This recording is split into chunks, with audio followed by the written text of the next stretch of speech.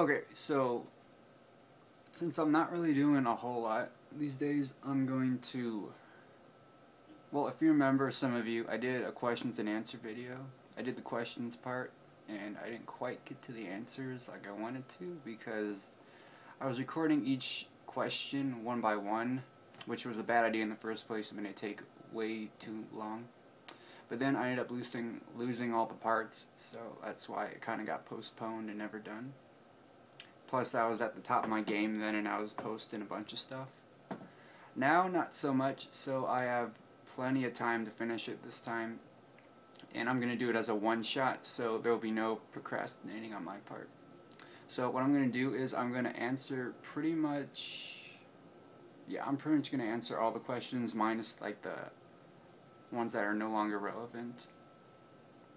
And if you want to add any others, you can do that right now in this video. That's perfectly fine. If you already answered, if you already asked a question before and you want to ask another one, you can definitely do that as well. If I get no new questions, that's fine. I, I still got plenty of questions to answer from the old vid, so it'll just end up being a mixture of the old and the new, it'll make a nice, semi-nice questions and answer video. Finally completed, so I'll give you like a week, I guess.